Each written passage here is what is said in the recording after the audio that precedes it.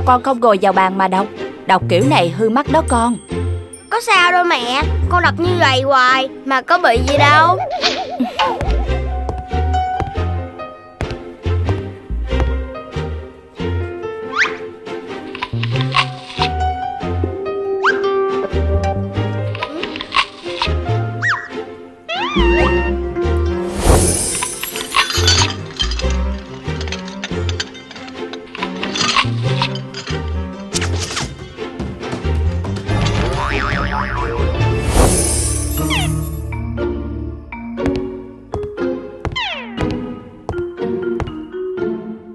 Sao con không lại gần ánh sáng mà đọc? Đọc như vậy sau này con bị cận đó. Có sao đâu ba. Con đọc như vậy dễ hơn. Mà đọc hoài có bị sao đâu ba.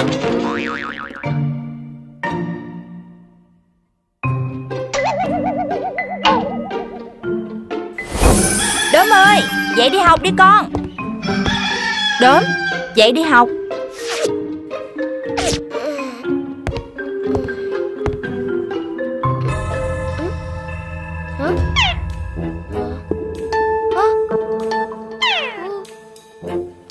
Kỳ vậy nè. Nhanh lên Đốm ơi Gần trễ giờ học rồi. Dạ con xuống liền.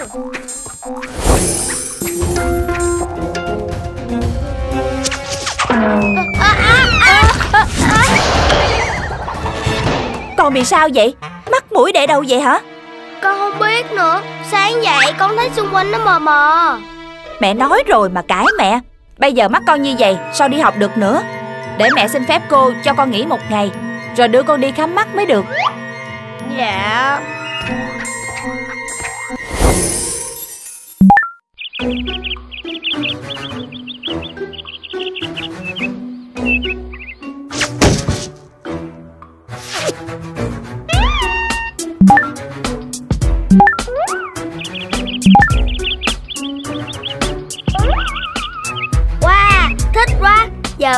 Sợ mờ nữa. Đúng là chiếc kính kỳ diệu. Đẹp quá, Như vậy còn thích hơn cả bình thường.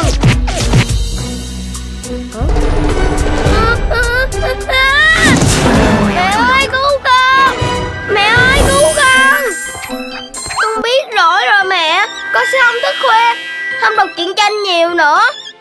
Xem phim hoạt hình xong Học bài, rồi con sẽ đi ngủ ngay Như vậy mới là đúng ngoan của mẹ.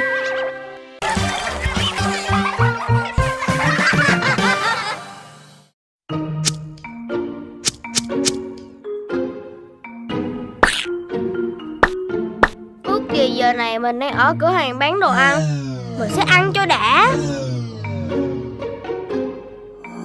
à! Trời ơi, cái gì vậy nè À, à, à, à, à, à. Chào mẹ, mẹ đang làm gì vậy?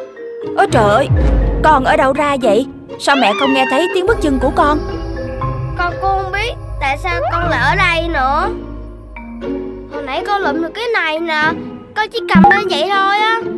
Không lẽ là tại nó Nó có thể dịch chuyển không gian sao? Nhưng nó ở đâu ra? Ừ? Ừ.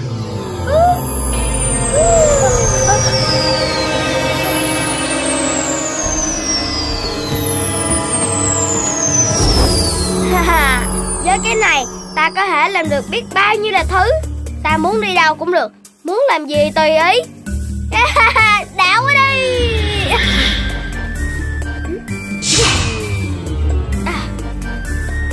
Yeah.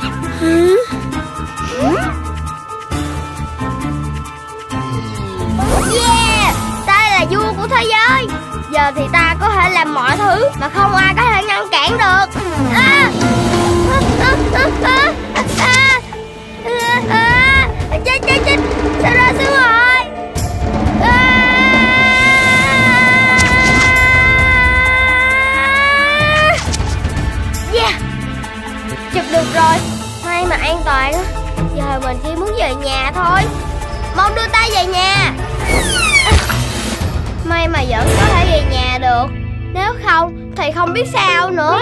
Ta không còn thứ nguy hiểm như vậy nữa. Ghê quá à. Như là chơi với súng vậy Không biết khi nào sẽ chết nữa. Quăng đi cho yên chuyện.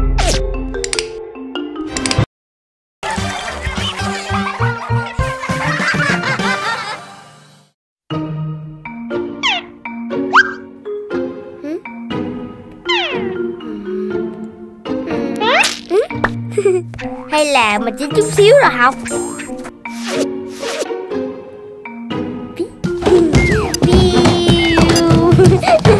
Pèo pèo pèo pèo pèo Đốm học bài xong chưa con? Dạ con còn xong rồi mà. Đốm học bài xong đi ngủ sớm nha. Mai còn làm bài kiểm tra đó. Dạ con biết rồi mẹ. Con chúc mẹ ngủ ngon. Ừ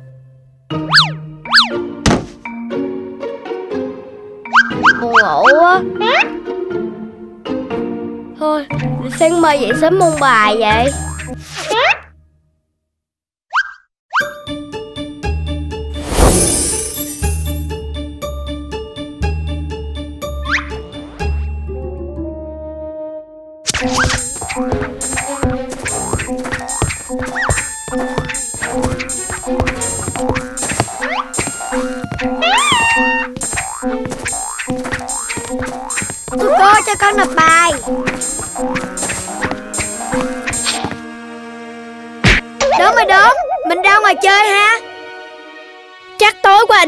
Bài khuya nên mệt. Ừ Vậy để đốm ngủ đi. Hai tụi mình ra ngoài chơi ha.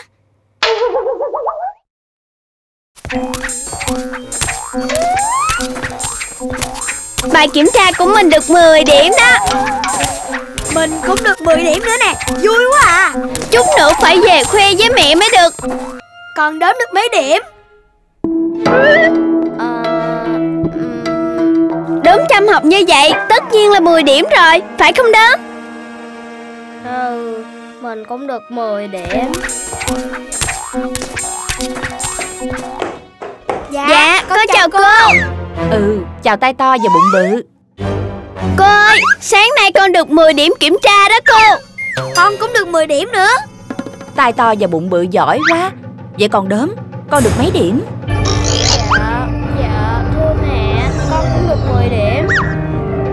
Ôi đốm của mẹ giỏi lắm.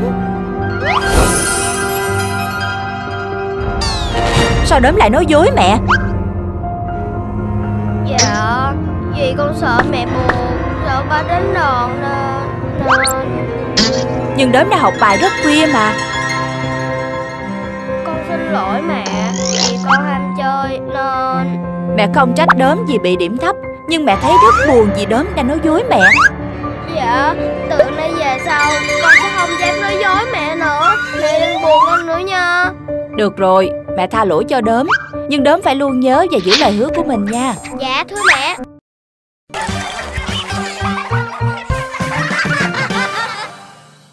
Đốm ăn xong thì ngủ trưa nha. Ba mẹ đi công việc Chiều ba mẹ về. Ba mẹ đi công việc gì vậy? Ba mẹ đi gặp chú Báo Hồng để bàn chuyện kinh doanh Chú bá Hồng có bộ lông màu hồng hả ba? Không Chú ấy có bộ lông vàng và đốm đen. Vậy tại sao lại có tên là báo hồng?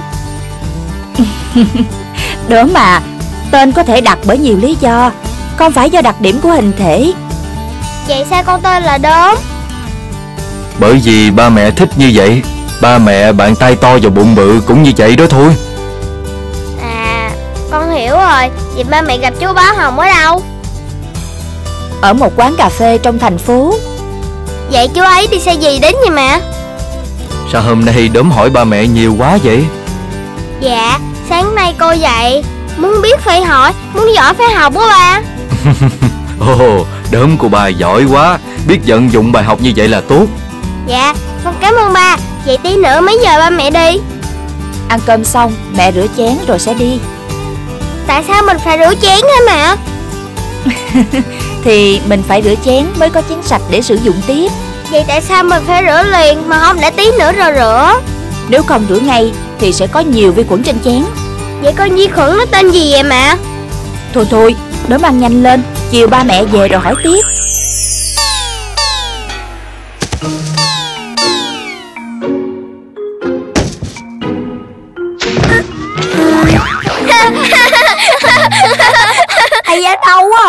Mình không chơi nữa đâu. Hả? Đang vui mà. Chơi tiếp đi. Đúng là mập mạp nên lười biếng mà. Mà bụng bự ơi Tại sao bạn lại mập dữ vậy? Tại vì mập mới dễ thương. Ba mẹ mình nói vậy á. Vậy có phải do mập nên mới lười biếng không? Mình không có lời. Tại vì mình mệt nên mình không chơi thôi.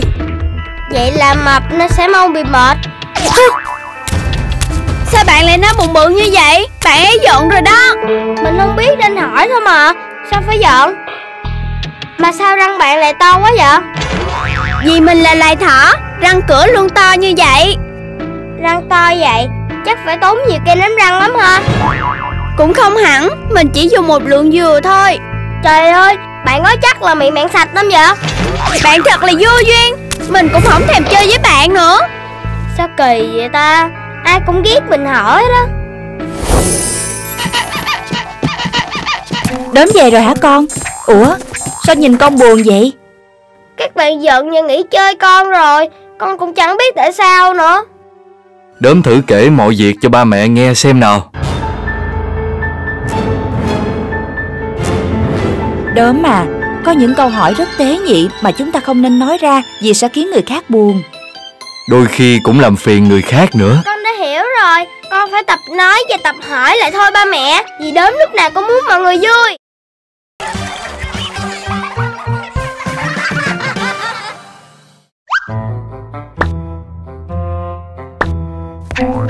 Đốm mà Xuống nhà ăn cơm với ba mẹ nè con.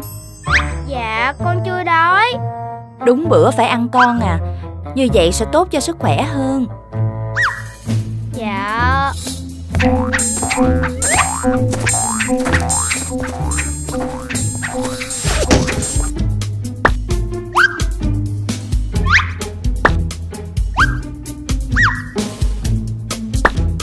con sao vậy? Đốm không thích mấy món này hả? Dạ không phải. Do chưa đói nên con không muốn ăn. Thôi ba hiểu rồi. Khi nào đói bụng thì đốm nói ba mẹ bới cơm cho con nha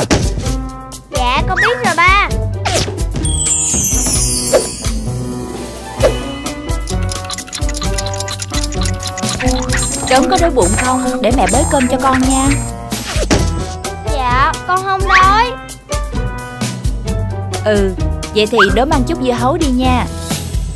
Con cảm ơn mẹ.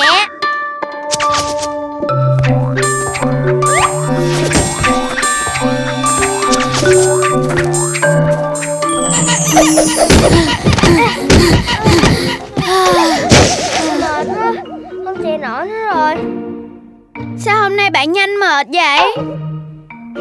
Không biết nữa Chắc là do từ sáng đến giờ mình chưa ăn cơm.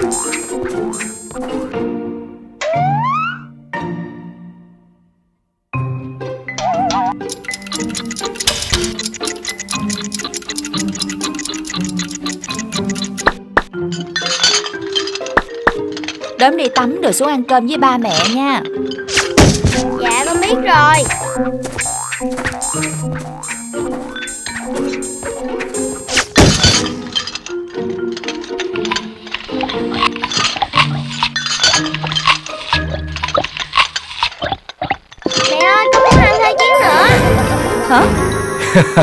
Trưa nay không ăn gì Nên chắc bây giờ đói bụng lắm rồi. Nhưng ăn uống không điều độ và không đúng giờ Thì không tốt cho sức khỏe đâu. Lâu lâu một lần Em cứ để cho con ăn thoải mái đi.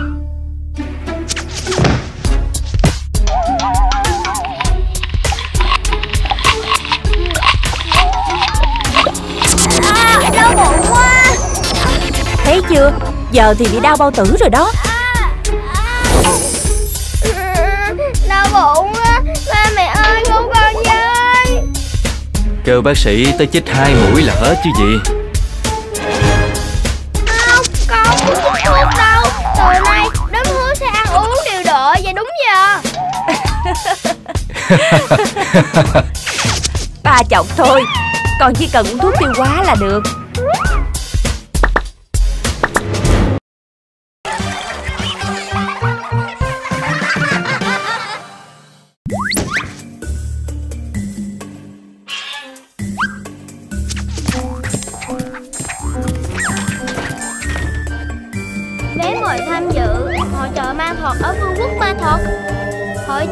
thuật được tổ chức mỗi năm một lần Bày bán nhiều loại bùa và phép thuật. Có nhiều khuyến mãi cho quý khách Vui lòng đến sớm. Các cửa hàng có thể đóng cửa bất cứ lúc nào. Tụi mình đi thôi, còn chờ gì nữa? Ờ ờ, bọn mình cứ xoay thời gian thôi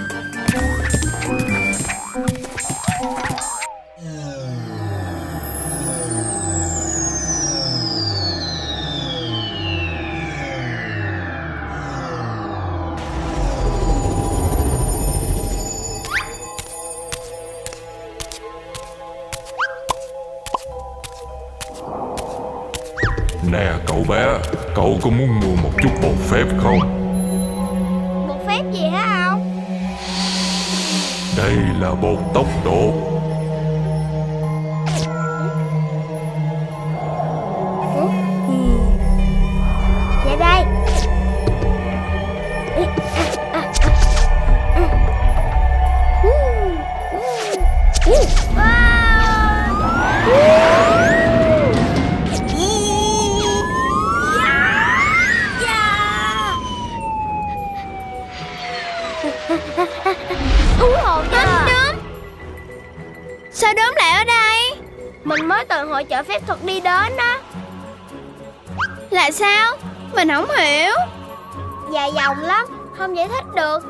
Chung bạn có thích đi chơi không? Đi đi. Đây. Dạ.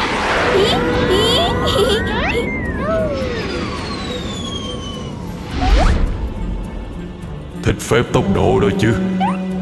Quá đã luôn. Ông còn phép nào khác không? Lúc nãy chỉ là một phép căn bản. Cao cấp hơn có những phép có thể tàn phá cả một thành phố. Con có thể đỡ con gấu bông này được không ông Tất nhiên là được. Món đồ nào với bọn ta cũng xài được hết. Wow Đẹp quá. Hết chi? À, à, à. Cái đó là bột cường quá mà. Nó sẽ to lớn và chuyển động. Tất cả nằm xuống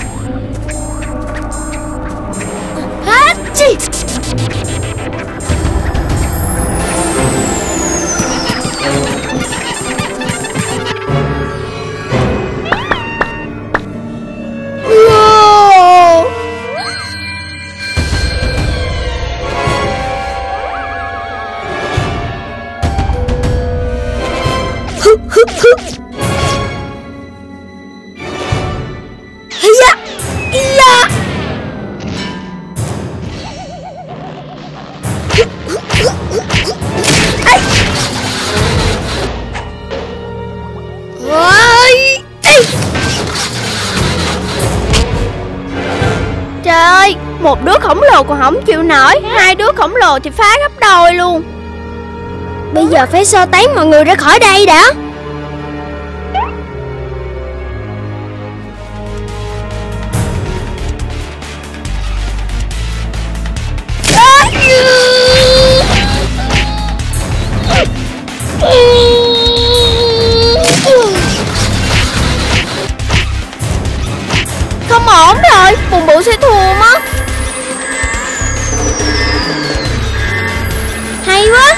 Là bột bay lượn. Không biết túi bột thu nhỏ là cái nào nữa. Mình không biết. Thôi thì, cứ đổ hết lên đầu nó coi sao.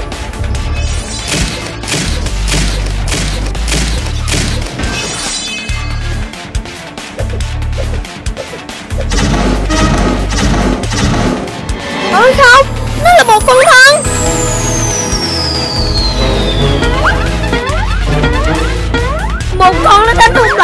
Giờ ba con phải làm sao ta?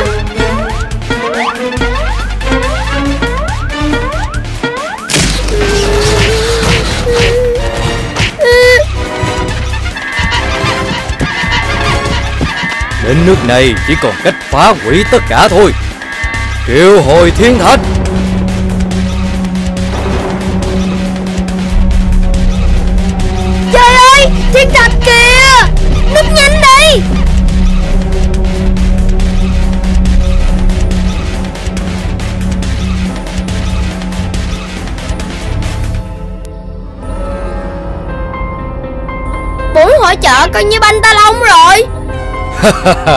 Tại mấy đứa nghịch quá. Không sao Phải xây dựng lại chứ sao giờ? Dạ con xin lỗi vì đã phá phách lung tung. Trẻ con mà Ta không trách. Cảm ơn robot mắt tím tốt bụng nhiều lắm. Giờ chúng ta đi tham quan hội chợ phép thuật này nha. Mình thấy thú vị quá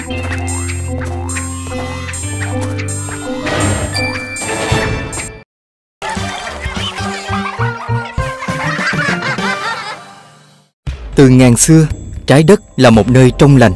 Mẹ thiên nhiên cho phép mọi sinh vật sống thoải mái, tự do. Thế nhưng Con người ỷ vào máy móc mà đang dần hủy hoại thiên nhiên Vì lòng tham của mình. Và máy móc đang nổi loạn chống lại con người.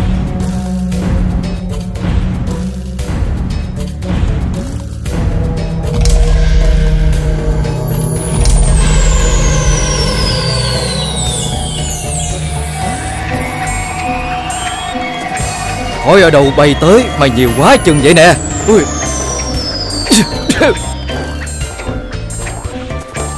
Khói từ các nhà máy xả ra ngày càng nhiều.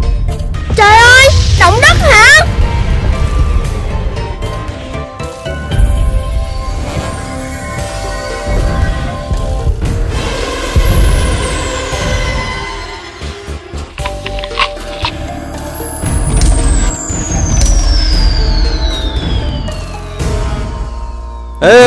Cây xanh không phải là thức ăn đâu nha.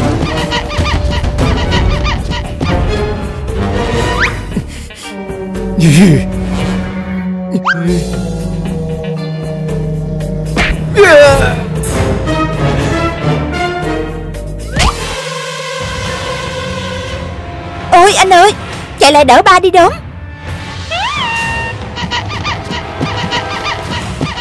Ba Ba Ba không sao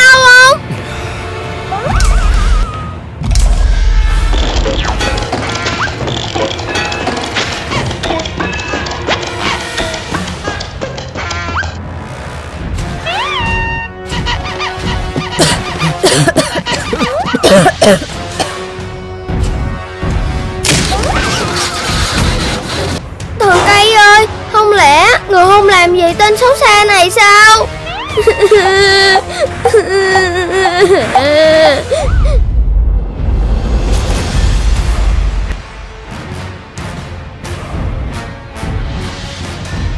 Chà. Dạ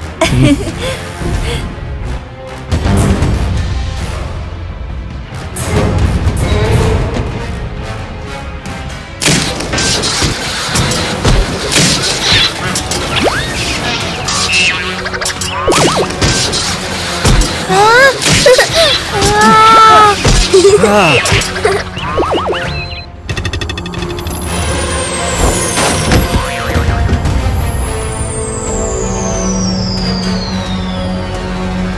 Hay quá Con robot ngụm củ tỏi ơi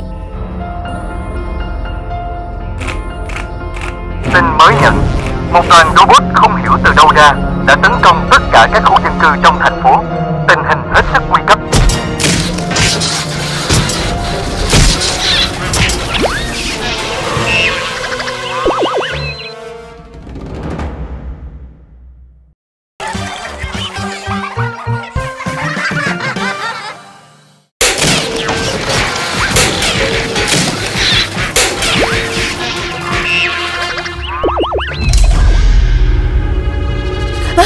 Trời ơi Lũ robot bắt đầu nổi loạn rồi. Là do con người tự chuốc lấy. Ông nói như vậy là sao?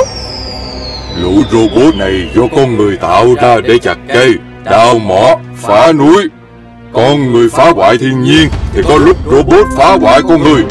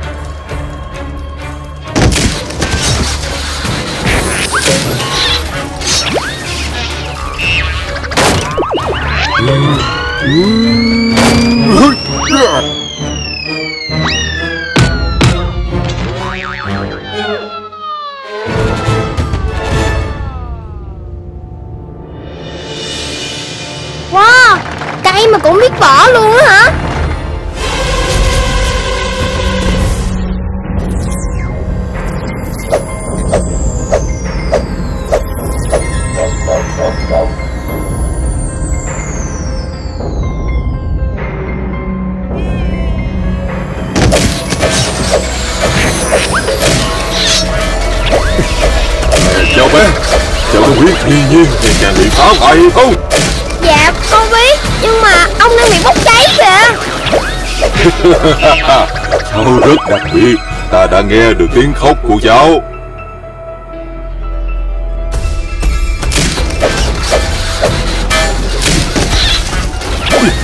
Nghe ta nói Cháu cùng gia đình phải chạy đi. Mọi việc ở đây cứ để cho ta lo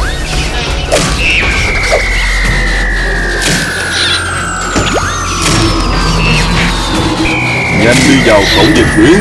Nó sẽ dẫn cháu tới nơi cháu cần tới. Nhưng mà còn ông thì sao? Ta ra ở đây cản tên này lại. Còn nhiệm vụ của cháu là cứu lấy trái đất. Con sẽ không để ông ở đây một mình đâu? Đi đi.